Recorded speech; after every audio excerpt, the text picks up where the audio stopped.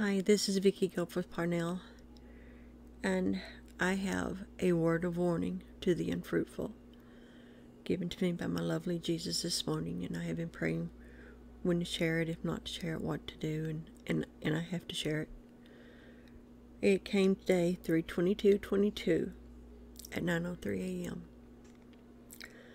Father God, I come to you, Lord, in the name of Jesus. Lord, I ask that you send these words out and that it reach the hearts of the people before it's too late.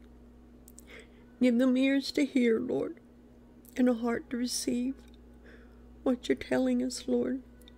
Move on us, Lord. Convict us, stir us, purge us, cleanse us. But God, don't ever leave us.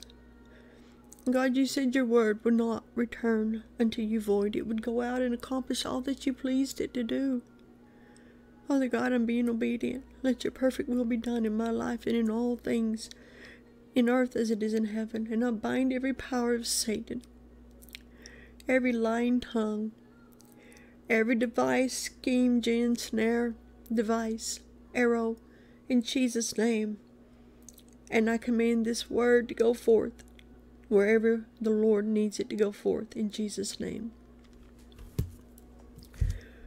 A word of warning to the unfruitful. The axe has been laid to the vine. Those not producing fruit, the good fruit of me, I am chopping off. You were warned to get fully in, fully surrendered to me, or to get out.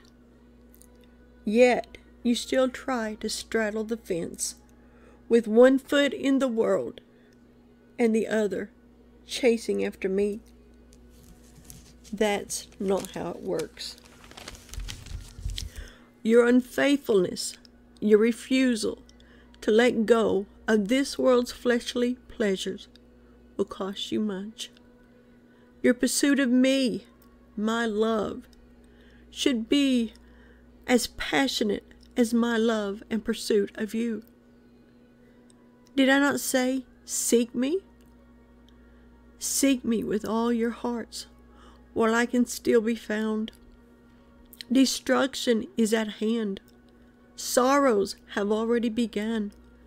For those of you still refusing to see the end of all things are here, and you're still hung up on your interpretation of my holy scriptures. In Matthew chapter 24, where I speak of things to come in verse 5 and 6. Standing on verse 6, you do, but the end is not yet. Then verse 8, which I spoke of these things being the beginning of sorrows. I ask you this How many wars and rumors of wars does there have to be for you to realize the truth of my words? How many nations must rise against nations, or famine occur, or pestilence arise? Have you not heard of all these things for many of your years now? Turn away from your man made theologies, doctrines, and religion, and return to me. Before my axe strikes true upon your lives, and I remove you from me, the vine, I am a God of love, of justice, compassion, and mercy. But if you truly love me, you would lay aside all these fleshly things and worldly religious things and turn your faces and hearts to me, Jesus, God's Son, and ask me to show you my truth. You would ask for understanding of my holy scriptures and I would send my Holy Spirit to teach you. But you must be teachable, and therein is where the problem lies. You have accepted your man made doctrines and religions and have no room for me, the truth. I am laying my axe to the unfruitful branches. Will you be one of them? I ask you, my children. Some I will prune, while others I shall chop at their withered, dead, dried roots. and they will fall to the ground to be gathered and then cast into the fires. Did I not say to get ready, to get in, or get out? Many shall now perish in their unclean state, with hell awaiting for their eternity. Have you not realized yet, once you're in hell, your eternal fate is sealed? Have you not realized yet that no matter how much horror, how much destruction, how much desolation you face on this earth with all that's coming, it's still only a small taste of the torment one will endure in hell's flames?